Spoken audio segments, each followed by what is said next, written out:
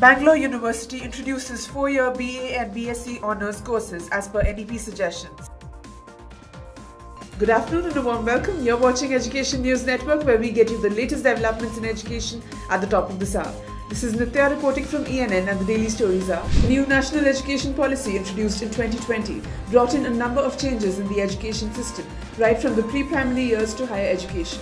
One of the major changes was changing the three year undergraduate study structure into a four year pattern with multiple entry and exit points to make higher education more suited to get jobs in the future.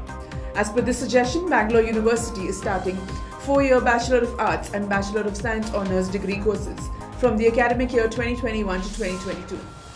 The suggestion of the NEP was made so as to offer more flexibility between courses and students could choose how long they wanted to study the course for. Bangalore University has also designed the courses in this way. Now, the courses are skill based, choice based, and cross disciplinary, transdisciplinary, multidisciplinary in nature that will provide the students the option of electives across the disciplines as per the objectives of the new NEP, said Vice Chancellor Professor Venugopal as per a statement. Exiting the course after the first year will get students a certificate. After the second year would get them a diploma, after the third year would get them a degree, and exiting after the full four years would get them BA or BSc honours. Since the NEP had also called for scrapping MPhil and introducing a credit-based system, which can be transferred between universities in a similar way, Bangalore University will allow students to pursue specialization in a particular subject or study research for one year after they complete their three-year degree.